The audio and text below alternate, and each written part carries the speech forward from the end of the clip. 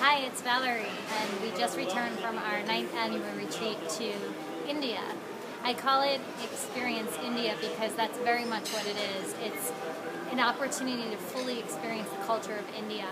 And where we go in Rishikesh, we're led and guided by my family, who I met many years ago, and we, they helped me create this retreat. So I feel grateful that it's very dialed in, and the people that came, it was just truly fantastic. There are so many different things that I could say that I get from these retreats, and one thing that I wanted to talk about was the um, we covered a different god and goddess every day. And there's something really profound about when you tap into a source that is not only around you, but it's also within you.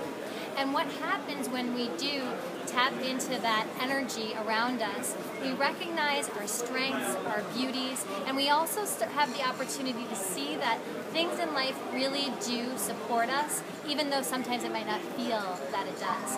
And so there's so much to take home and um, if you have a desire to start experiencing or exploring um, gods or goddesses or angels or um, even saints, I highly recommend just dip your toe in. Just start to read a little bit about it, pick angel cards, whatever it is, and start to see that there is so much support around us, and it is available available to us at all moments.